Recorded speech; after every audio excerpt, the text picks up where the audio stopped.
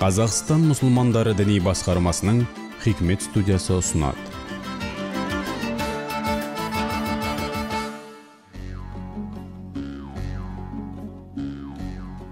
أعوذ بالله من الشيطان الرجيم بسم الله الرحمن الرحيم ассаламу алейкум ва рахматуллахи ва баракату қадірменді тыңдарман қауым бүгін сіздерменен пайғамбарлар тарихатты бағдарламамыздың алғашқы пайғамбары адам алейхиссалам жайында сөз қозғаймыз. Адам пайғамбар алғашқы адам болғандығы секілді пайғамбарлардың да алғашқысы. Адамзат баласы ұлтына жынысына бөлінбестен баршамыз осы адам атадан тарқайтындығымыз мәлім. Алла тағала осы алғашқы адамды жаратқан кезде жай адам болып қана қоймай ол кісіні әрі пайғамбар да қылған екен. Енді алла тағала осы жалпылама құран тілінде бұл адамзатпенен бұл әлемде болып жатқан тағы да жындар әлемі деген секілді бір әлемді мақұлқат әлемін сипаттап баяндап жатқан кезде олардың белгілі бір мақсатта жаратылғандығын былай деп баян етеді. Мен жындар менен адамзат баласын тек қана өзіме құлшылық жасаулары үшін ғана жараттым деп айтқанындай алла тағала осы адам атаны адам пайғамбарды жаратпастан бұрын бүкіл періштелерге мәләкут әлеміне періштелер әлеміне былай деп үн қатады. Мен осындай жер бетінде бір өзімнің үкімімді орындап шариғатымда нені әмір етсем соны бұлжытпай орындайтын шариғатымда неден тыйсам содан тыйылатын бір халифа орынбасар менің бұл дүниеде үкімдерімді жүзеге асыратын бір мақұлқат жаратамын деп құран тілінде былай деп білдіріп кетеді.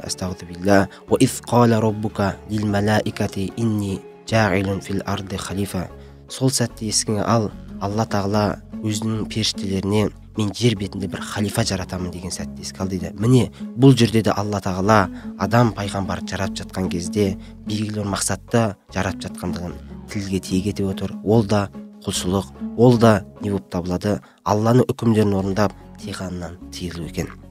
Алла тағала осы адам пайғамбарды жаратқан кезінде мынандай бір үш кезеңнен өткізеді. Әл мархалату турабия әл мархалату тиния әл мархалату таквиния дейміз бірінші кезең бірінші сәт бұл әл мархалату турабия адам пайғамбардың топырақ болған сәт екен топырақтан жаратылған сәті топырақ күйінде болған кезеңі алла тағала адам пайғамбардың болмысын қалыптастырмастан бұрын періштелерге мынандай деп әмір береді бүкіл періштелердің жердің әр жынысынан әр түрінен әр қабатынан әр түрдегі топырақты әкелулерін әмір қылып берген кезінде бүкіл періштелер алланың әмірін бұлжытпай орындайтындықтан не қылады?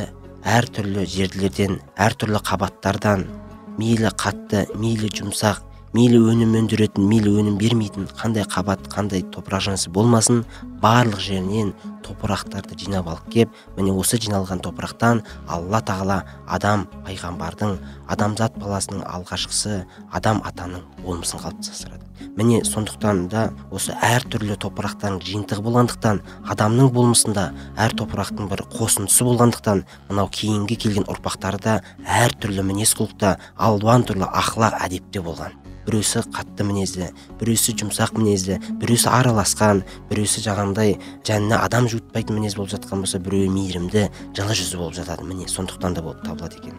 Алла тағала бұны құран тілінде былай деп баян етеді.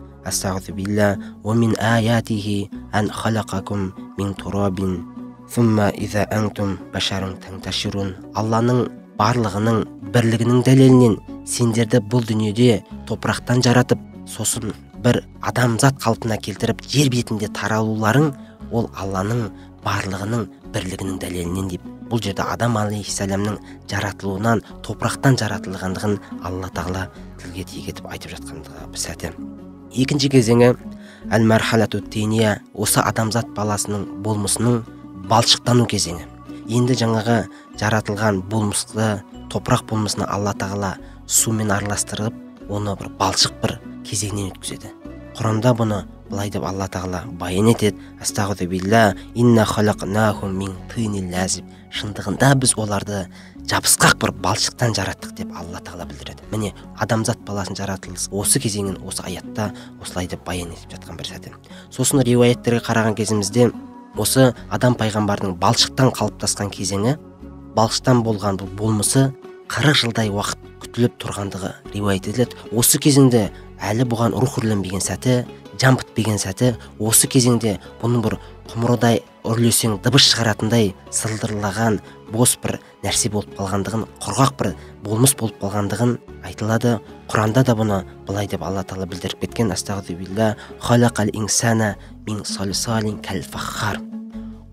Сыңғырлаған құрғақ топырақтан біз адамзат баласын жараттық деп адамзат баласының жаратылысындағы осы кезеңді алла тағала құранда құран тілінде құран аятында осылай деп білдіріп кетеді.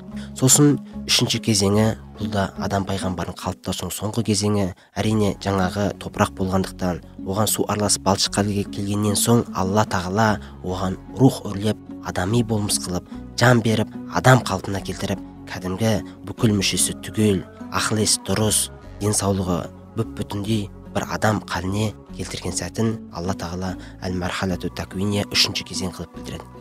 Енді алла тағала адам пайғамбарға адамзаттың алғашқысы адам атаға рухын үрлегеннен кейін бүкіл періштелерге ешқандай періштені қалдырмастан әмір етеді баршасының адам пайғамбарға сәжде қылуын әмір етеді.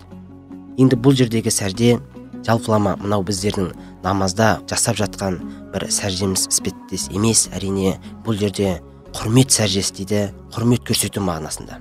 Адам атаның періштелерден ардақты екендігін бүкіл болмыстың ең құрметтісі де қадірмендісі екендігін білдірту мақсатында алла тағала ішпейтін жемейтін әлсіреп нәпсісіне берілмейтін періштелерге осы адам пайғамбарға сәжде қылуын әмір етеді екен бұл аяттан да көретіндігіміз бұл сәттен де түсінетіндігіміз біздердің жалпылама адамзат баласының періштеден де ардақты бір жан екендігімізді алла тағала көрсетіп білдіріп тұр. Негізінде мынандай нәрседе айтылады ғой. Бүкіл нәрсе жалпылама жер бетіндегі жаратылған мейлі теңіздегі балық болмасын мейлі аспанда ұшқан құс болмасын мейлі жер астындағы шикізат дәнді заттар болмасын баршасы біздердің иелігімізге біздердің бақытымыз үшін яғни адамдардың бақыты үшін жаратылған. Ал біздер ше біздер болсақ бір аллаға құлшылық қылу үшін осы беріліп жатқан көре алған көре алмаған есебіне жете алған жете алмаған нығметтерге қарсы аллаға құлшылық қылуымыз үшін де жаратылғандығымыз де айтылады. Сонда рух үрленіп періштелерге сәжде етілу әмірі берілген кезінде бүкіл періште адам пайғамбарға баршасы алланың әміріне қарсы келместен сәжде жасады дейді. Себебі періштелердің мынандай бір сипаты бар. Алланың әмір еткені олар ешқашан ешқандай уақытта ешбір кезеңде олар қарсы келмейді. Нені әмір еткен болса соны орындайды дейді. Міне осы аят ауқымынан түсінетін бүкіл періштенің аллаға шынайы мойынсұнғаны бірақ періштелер сәжде қылған кезінде құрметін көрсеткен кезінде алланың әміріне мойынсұнған кезінде олардың ішінен біреусі не қылмайды? Бұл әмірге мойынсұнбайды аллаға қарсы келеді. Ол да ібліс малғұн. Құран тілінде алла былай деп баян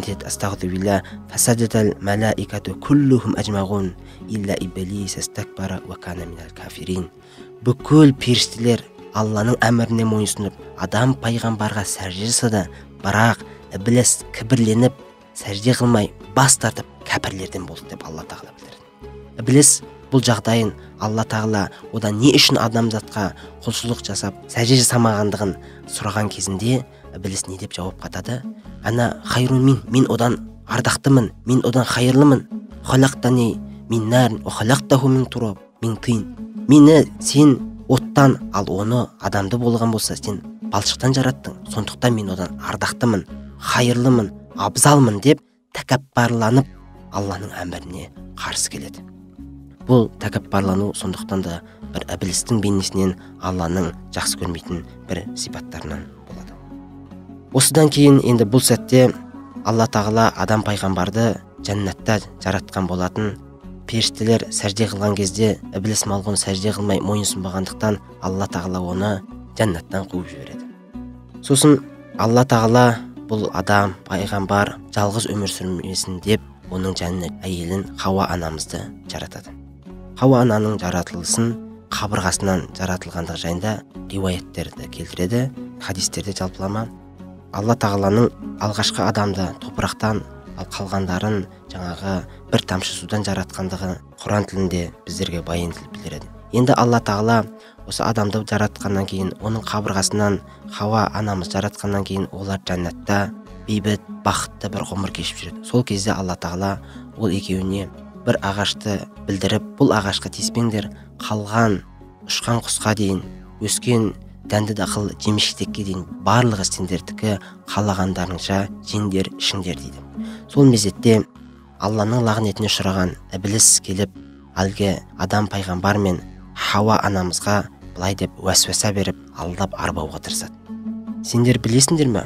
Алла тағала не үшін сендерді мынау ағаштан мына жемістен тыйғандығын не үшін жеме деп айтқандығын білесіңдер ма егер де сендер бұл ағаштан дәм татып ауыз тиіп жейтін болсаңдар сендер мәңгі бақи осы жерде қалып періштелерге айналасыңдар деген секілді сөздерін айтады. Және де бұны өзі не қылады? Ант еткен түрде алланың атымен ант етеді. Бұны тыңдап тұрған адам пайғамбар және хауа анамыздың сенбеске шаралары қалмайды құран тілінде былай деп баян етіледі.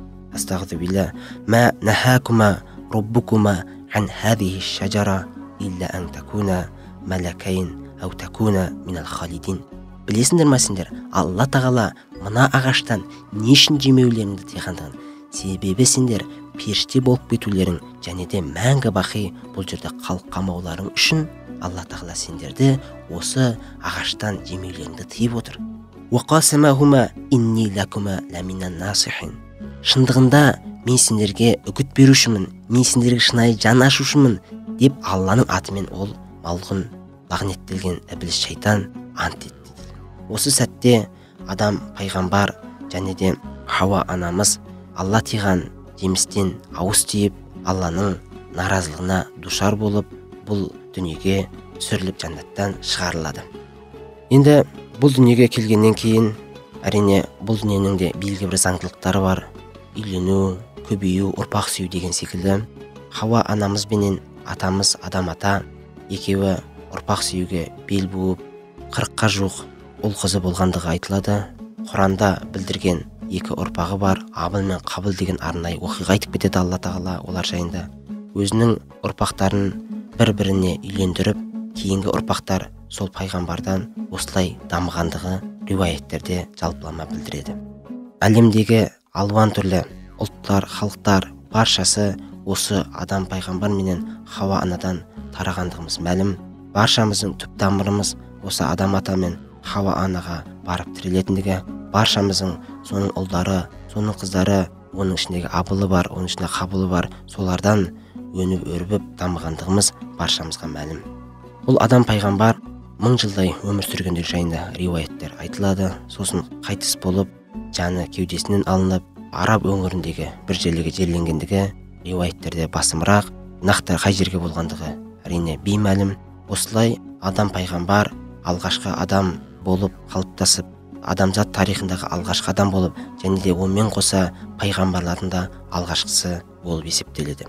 Енді бұл адам пайғамбардың өмір тарихына өмір кезеңіне қарайтын болсақ алла тағаланың бұл жерде адам пайғамбарды белгілі мақсатта жібергендігін біздерге білдіріп отыр. Ол да құлшылық ол да жақсылыққа шақырып жаманшылықтан тыйылу алланың әмірін шынайы орындау және де бұл жерден көретіндігіміз мынау құран тілінде де біздерге білдіргендей инна адува шындығында шайтан сендерге дұшпан міне сол дұшпандарынан сақтаныңдар деп. Шайтанның бізге дұшпан екендігін алғашқы атамыз адам ата мен анамыз хауананың жәннаттан шығарылуына себепкер болған қателік жасап алланың наразылығына душар болып қалуына себепкер болған шайтан малғұннан сақтану керектігімізді алла тағала біздерге білдіреді. Және де бұл қиссадан түсінетініміз өмірдің әрбір кезеңінде адамзат баласы емтихандарға белгілі бір сынақтарға тап болып отыратындығы душар болып отыратындығы ең бастысы осы емтихандарды алланың қалағандай тапсырып отырулары содан бір жақсылап нәтижелі болып шығулары басты мақсат болып табылады. Шайтан малғұнның бұл дүниеде де біздің артымыздан қалмайды. Тіптен әрбір десеңіз жәннатта да адам пайғамбар мен хауа ананың жаратылған жерінде де болғандығын ескере отырып шайтанның әрбір сәтімізде сақтану керектігін біз ұғынуымыз сақтануымыз содан абай болуымыз керек екен қадірменді тыңдарман қауым алейкум рахматуллахи ва баракатух